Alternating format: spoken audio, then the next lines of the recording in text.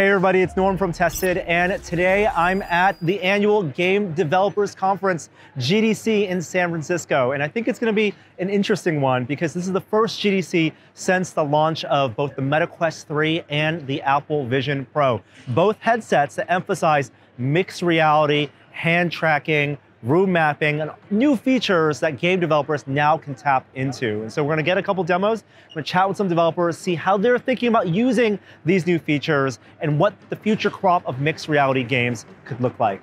Let's head inside. I first met up with developer Thomas Van Bouwel, creator of the popular VR puzzle game Cubism and the upcoming mixed reality game Laser Dance. So uh, Cubism is a simple puzzle game about putting blocks into shapes. So it's super easy to pick up, but it gets very hard the further you go as the puzzles become more hard, uh, harder. Um, it started as a VR game, uh, but then as the Quest 2 in through software updates got a lot of new uh, capabilities like hand tracking and pass-through, Cubism sort of evolved with it. Um, and I now primarily really see it as a mixed reality game. And um, since one of my main goals with the game was to make it as easy and accessible as possible, like a great introduction for people who never played VR or who maybe never played games. Um, mixed reality and hand tracking are a really exciting step to make that barrier a bit lower. It doesn't necessarily make the game easier, but the, there's still a barrier for some people to put on a headset and stay in there for a long time. And mixed reality just uh, lowers that barrier a bit because they don't get disconnected with their environments or the people around them. Right. Uh, and especially for someone uh, like I've demoed Cubism a bunch of times uh, during development and after as well. Um, I've seen it be a lot easier with mixed reality actually, because putting on a headset to someone, them seeing you and then you explaining the game and helping them where they need it, uh, it's just so much easier uh, in mixed reality and so much more natural. And that's still for a lot of people their first experience in the medium is somebody showing them, right? Yeah. So trying to make a game that's easy to show to someone uh, has been easier with this technology uh, improvement. So. It's a game that feels so intuitive to, to learn, a puzzle game fitting shapes into 3D shapes, but takes advantage of what VR and mixed reality has to offer in terms of the, the spatial understanding of those shapes. Yes. You're encouraging players to, to look around and manipulate you know, the shapes themselves. Mhm. Uh, and I, I feel like having the mixed reality aspect to it makes that spatial aspect feel even more powerful. Absolutely, absolutely. And I'm still hoping to be able to uh, keep improving it as it goes on. I think um, Quest 3 introduced a lot of elements that uh, make it more comfortable and more interesting in mixed reality, just color pass through by default, uh, but also a scene understanding, uh, which is a minor component in Cubism. You can actually Mhm. like, uh, you know, um, mark off your table and then place the puzzle on the table, for example. But one key component that's still missing is persistence, right? Like, uh, to a certain extent, for me, the final form of cubism in mixed reality is it being sort of like a Rubik's cube that sits on your desk next to your work, where you can like pick it up quickly, do a puzzle, and take a break from your work, and then get back to work.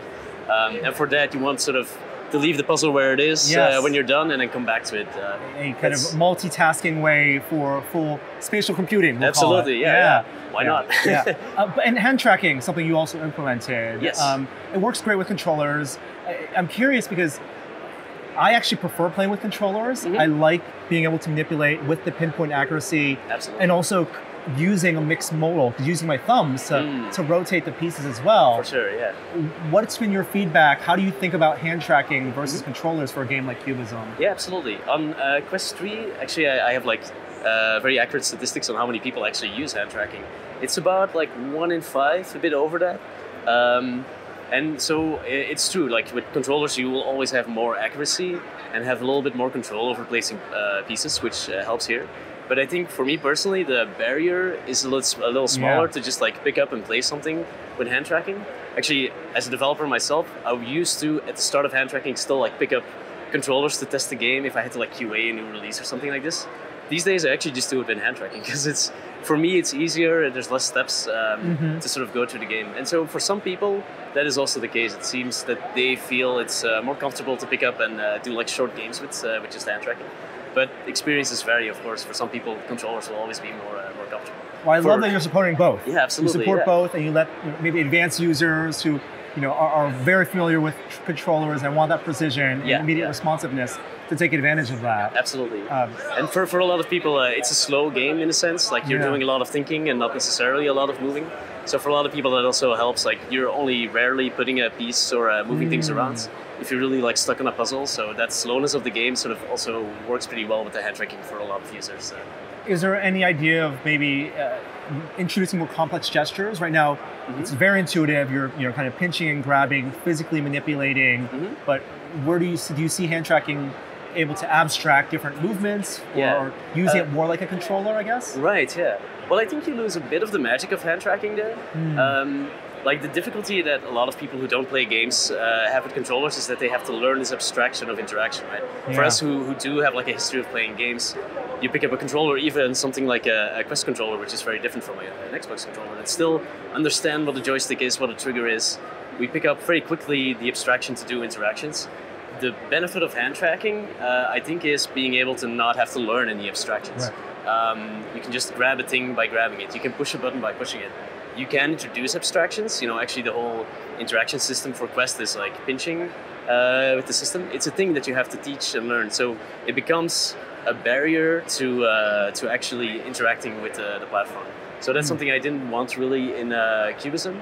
Uh, there are some like um, some power user uh, gestures, so you can actually look at a piece and then go like this and sort of call the piece to you. Right. Yes. So, yes. you know, to make sure that everything's sort of in reach always.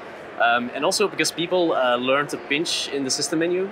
From playtests, I saw some people launch the game and try to pinch the push button. So you can actually do this. If you hover over a button and pinch, it will also accept it, even though it's sort of designed for uh, pushing.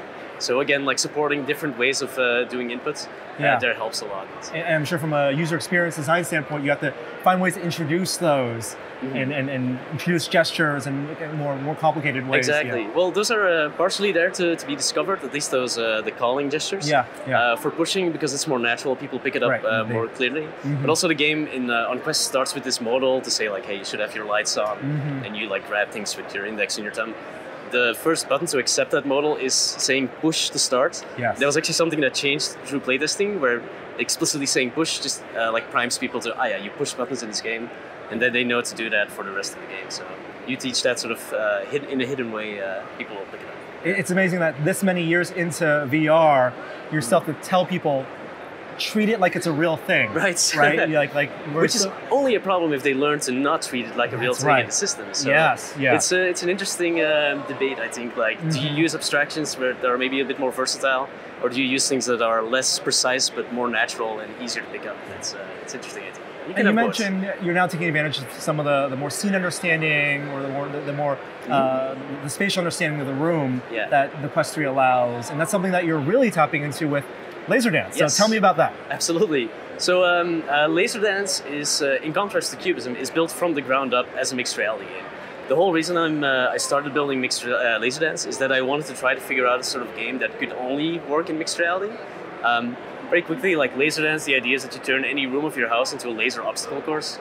You place uh, two virtual buttons on opposite walls, and then you go back and forth pressing a button. And every time you press the button, a new pattern of lasers uh, will sort of spawn in your room, where you have to move your whole, whole body around it. Yeah. Um, the patterns are sort of adaptive, uh, so they try to adapt to the room that you're in. Um, and uh, yeah, you really play with your whole body. Um, the, uh, the game is currently working with uh, upper body tracking, um, inside out body tracking on Quest 3.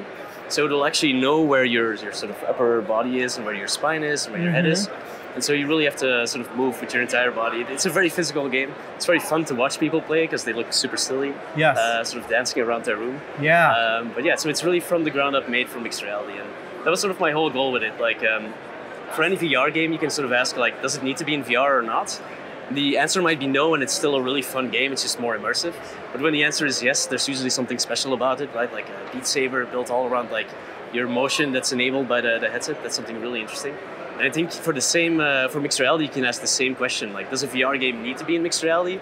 The answer might be no, like in Cubism, but it still adds a lot because it adds uh, immersion and it makes it more accessible.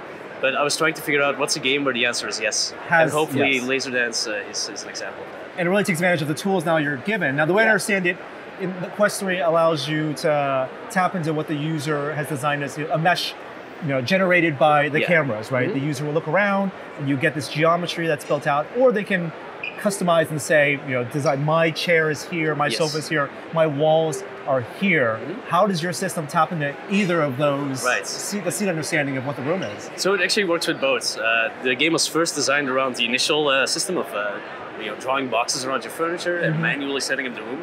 But that's a system that's also very error prone uh, on the user side. Mm. Maybe you missed a, a key piece of furniture maybe you didn't like uh, set up the walls correctly, and that can result into faulty gameplay or gameplay where you can't really progress to the level uh, because the game is asking you to like move through a piece of furniture or a wall you can mark, right? And so mesh, hopefully in the long run, will become a more sustainable and easier to set up and a more versatile way of like um, setting up your room like this. Mm-hmm. Um, so having the mesh, for example, my, my apartment in Brussels where I live uh, is under a roof, so I have these like slanted ceilings. Yes. And so that's something that you would never be able to capture with the old system. Right, right. That always abstract everything into a box. Cubes, Uh, yeah, yeah, yeah, exactly, rectangles, exactly. yeah. And also the walls are always like a straight up uh, a prism, let's say. Perpendicular, yes. Exactly. So now I can actually capture that with the mesh and try to uh, anticipate that with how I spawn the laser patterns. Uh, and so it becomes a lot more natural and a much more resilient to different types of rooms like this. And- but the game supports both for this one. And the game you're designing, because you're generating these two endpoints and lasers or just these raycast, you know, beams, Yeah. it doesn't matter if that mesh, it can be a little noisy, it can be uneven, Yeah, yeah. but it still works for the game. as long as the the mesh uh, is detailed enough in the places that matter, Yeah. uh, that is like that'll work. That's actually a challenge I have right now. Like just the mesh API uh, and sort of working around making a game around mesh is very new at this point. Uh, so there's still a lot of back and forth between uh, you know developers working with this and platforms as well to what is needed. One of the issues right now is that actually.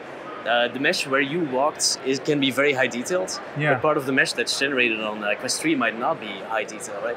And so you might get Ah. situations where um, maybe uh, you scan the good part of your apartments, but you missed the part and it's sort of filled in as like a blank spot. Yeah. We only know what data we get from the mesh and sort of try to make good estimates on this. But for example, the, the game uh, has custom pathfinding. Uh, there might be like a level that's like a tunnel of lasers that you have to go through that tries to go around your furniture. But if there's an empty spot that's actually a wall, it might Wow. uh, be blocking. So that's still something that needs to be figured out in like the APIs. Like uh, how do you get the information to developers to be able to handle those cases, right? Yeah, yeah, because you, you have to maybe work with incomplete data Yeah. in a variety of infinite combinations of Right. spaces while still, you know, broadly saying Exactly. this is the minimum spec for, for a room. Exactly. And the users still have, with the old system of manually setting up uh, furniture boxes, you have some uh, degree of control to like fix issues if they happen. Like Yeah. if your mesh capture missed a spot, you can actually just put a box Mm. where a wall needs to be or where a piece of furniture needs to be. Uh, so that way you can sort of fix some of those issues currently, but down the uh, down the line, like hopefully uh, mesh APIs and things like that will become more resilient for these sort of things and provide the right amount of data to developers to be able to handle all the edge cases. What's the on the extremes? What's like the largest environment or the smallest or most complex environments Yeah. that this will work in? Um, so right now, I try to design for the lowest common denominator. The minimum requirement is uh, to have three meters as the minimum distance between the, the buttons, so about 10 feet, I think. Um, it doesn't have to be the direct distance, just the smallest walking distance uh, that like pathfinding would find. Mm. Um, actually, when you're setting up the buttons, the first button you place in the wall, while you're setting up the second button, you'll see a sort of meter that tells you exactly the distance and like it. the path it's finding in your space, so you can directly see what uh, what that distance is. Um, that's the minimum, and then the game will work. That's like enough to sort of spawn interesting levels in between. Um, I've tried to. I work from like a co-working space, which is like a big open office. So I've tried to like scan part of that. That's part where like these uh, detail issues come up in uh, meshing, because like there's a, an upper limits where if you're scanning and scanning and scanning at a certain point, the Quest 3 will Right. just stop. Um, what exactly that limit is, I think that still needs to be determined. But there it will have like a high detail part and it will fill in the gaps. Uh, so in the, in the office, for example, uh, it had a high detail part where it captured all the desks and all the chairs and all that stuff. Then had just uh, like an empty spot where all the desks were, but where the capture just sort of stopped. Yeah. So that sort of uh, those cases still need to be handled uh, through improvements uh, of those APIs. Well, the smart, brilliant thing you've done is that you've designed a game where you want the player to work with the system because they're they're only going to get the best experience yeah. when they try not to break the system. When they work, when they give you as much information, Yeah, when yeah. they play in the most kind of fun and optimal space, Exactly. because you're working together with the player to create a fun experience. If they try to break it, they're not going to have fun. and the best place really is your living room or like your bedroom or like any space in your house, which will have a, a limit to how big it is probably. Depends on where you live, of course. Um, and like the fun thing about mixed reality is, I mean, you remember the old days of VR uh, when HTC Vive came out, and people were very excited about like room scale VR. Yes. And um, maybe you remember uh, Unseen Diplomacy. Yes, Uh, yes. Also had laser elements to it. Yes, But you needed yes. two by three meters. And Yes. so the limiting factor was people having enough space, being able to push their furniture around. One of the cool things about mixed reality is you can actually make those part of the gameplay, right? I uh, mentioned uh, like pathfinding that the game uses. So if you have furniture in your house, the game will just try to find a path around it and make the game safe and playable uh, in that way. And so that's fun to be able to incorporate those things uh, in, in gameplay itself. One of the first uh, places I, I, tested a very early prototype was uh, also a co-working space, mm-hmm. and we tested it in a meeting room that had like a big table underneath, mm-hmm. and so lasers would hit the table, right? Oh, yeah, people yeah. would like crawl underneath the table for like cover. So it's like fun to be able to incorporate all those elements uh, in the game as well. It's, it's, an exercise game disguised as a as, yoga game. Uh, yes, yeah, I love it. I love it. And now you mentioned unseen diplomacy and all the non-Euclidean geometry. Yeah. And I'm sure there are so many ideas that you can tap into. You guys are, absolutely. I mean, you as a single developer right, really are, are, going far using all these features. It's awesome. Appreciate it. Yeah. Well, it's great to see you in person, same Thomas. Congratulations on so showing it here, and can't wait for it to come out. That's awesome. Thanks so much for talking. Thank you, Thomas. Cheers. What struck me most during my playtest of the Laserdance demo was how much the game benefits from the play space being my actual home. The dynamic levels, use of room mapping, real-time occlusion, and sense of embodiment all help blend the gameplay with a space I already have a strong connection with.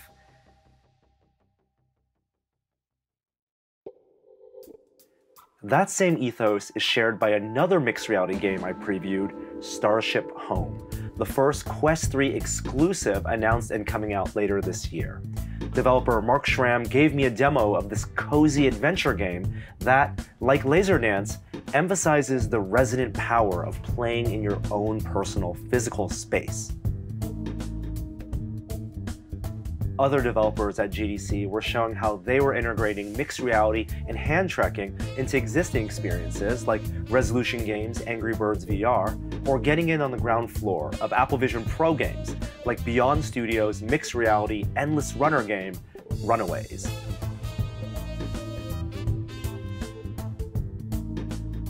And because the Quest 3 and Apple Vision Pro have different implementations of mixed reality and hand tracking, I was also curious how developers working on both platforms reconcile those differences. This led me to a conversation about hand tracking with Owlchemy Labs, the makers of Job Simulator and Vacation Simulator, who ran me through their own hand tracking implementation that they built on top of Meta and Apple's technology. So we build on top of Meta's base, right? Meta, and we build on top of everyone's hand tracking base. Um, but we build our own interaction layer, right? So yeah, we originally experimented back in Vacation Simulator that you can play it right now on Quest. And that was really like, how do you take a controller and make it work, right? It was very much like substituting the one button and then mm-hmm. the teleport. Um, but this uh, and the cafe, the cafe demo, the demo that you played today, is very is much more like what happens when we design for hand tracking first, right? And a lot of the rules that we had made with controllers don't apply. So, for instance, when we were building, we used to be like only objects that are like the size of a baseball or larger, right? And now, actually, little objects are really fun because you have individual fingers that you can pick things up. So we, what our tech does is we do a lot of kind of like um, we just make it work is the best way to describe it. So you might not notice, but your fingers are like stretching and pulling and they're moving around. And we're doing a lot of behind the scenes work to make what your brain thinks should be happening match the action in the headset. Natural way of interacting. And it seemed like for a while we were just getting a hang of just being able to grasp and point the basic like first yeah. order style of interactions.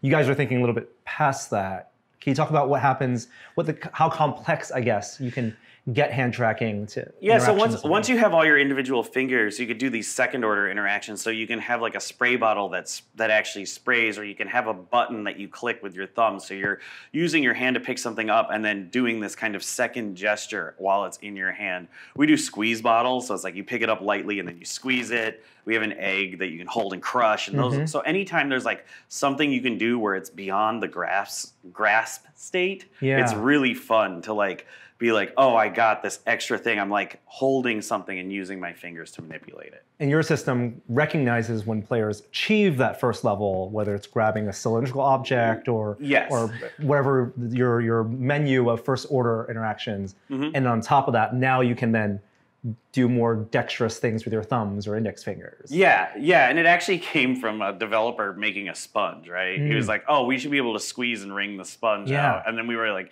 he posted a video in our in our Slack, and we were like, "What? No way!" And he did a spray bottle, and then it all fell out from there.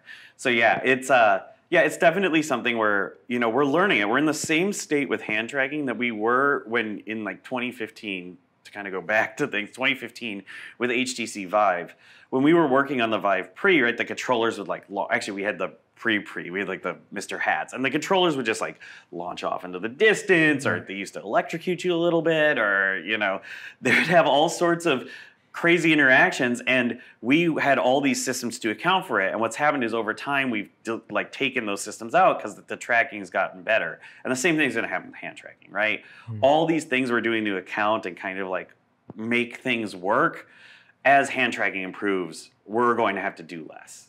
And it's just going to be better. Today you're using the worst version of hand tracking you will use because tomorrow That's a good way to think about it. better. Yeah, yeah. And you, there's also multiple platforms now. You, mentioned you guys are developing for, for Vision Pro as well. Yes. What Apple may provide you, I assume, is going to be slightly different than what you might get from Quest. There's fundamentals like the, the skeleton, but you know, how, how do you think about those two? And are, are, do you have to create a baseline of the shared inputs that you're going to get from both? we're actually very good at building. We have this layer called Owlchemy VR, and so we have a number of people who are just really good at taking kind of the raw data that we get or the massage data and like turning it into a unified set. So if you're like a developer at Owlchemy, you actually don't have to think about the platform differences. Mm. We have a few people who do and make it all feel the same. Our goal when anytime we bring our game somewhere is to make it feel as if we originally designed it for that platform.